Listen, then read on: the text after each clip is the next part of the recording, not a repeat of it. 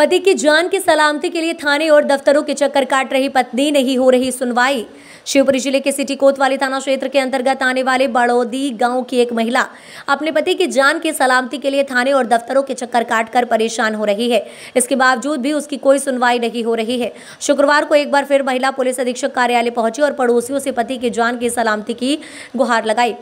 जानकारी के अनुसार बसंती पत्नी सूर्यभान सिंह राजपूत निवासी बड़ौदी थाना सिटी कोतवाली शिवपुरी ने बताया कि पति की मौत के बाद गाँव के ही सूर्यभान सिंह राजपूत को पति के रूप में स्वीकार कर अपना और अपने दो बच्चों का पालन पोषण कर रही है। सूर्यभान सिंह राजपूत से उसके रिश्ते से परिवार वालों को कोई आपत्ति नहीं है, लेकिन उसके पड़ोस में ही रहने वाले गोविंद विजय सिंह, मोहन सिंह राजा आपत्ति कर रहे हैं। वह कहते हैं कि तू इसके साथ ही नहीं रहेगी।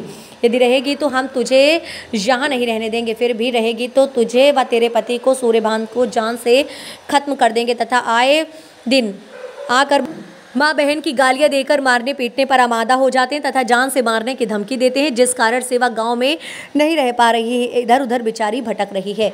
महिला ने बताया कि इसके शिकायत थाने एसपी ऑफ़िस सहित भोपाल तक कर चुकी हूँ, लेकिन पुलिस उसकी सुनवाई नहीं कर रही है। शुक्रवार को एसपी ऑफ़िस पहुँची, महिला ने कार्यवाही नहीं होने पर अपने दो बच्चों के साथ आत्मदाह करने की धमकी दी है।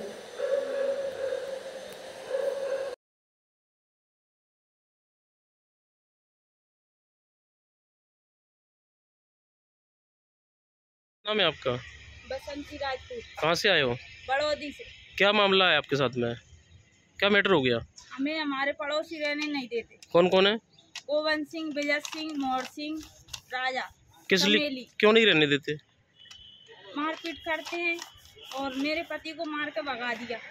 मेरे साथ भी मारपीट की थी और कोई कार्रवाई नहीं हुई नहीं तो क्यों क्यों मारपीट करते हैं? कोई वजह तो होगी इसकी नहीं देते घर पे वैसे। क्या कहते हैं? खत्म हो गए थे तो मैंने इनको रख लिया। देवर को? हाँ। तो क्या कहती हैं? देवर के साथ नहीं रहोगी? हाँ। तो उनको क्या आपत्ति है? बनाया मेरे पति झूठा केस लगाया है। हाँ। क्या तो उनको क्या दिक्कत आ रही है आपके देवर के साथ रहने से? पता नहीं। कोई यही वजह है बस देवर के चक्कर में? यही वजह तो आपने आवेदन दिया क्या बोला है आपसे? मैंने भोपाल आवेदन दे दिया हम्म। एसपी ऑफ़िस में दिया।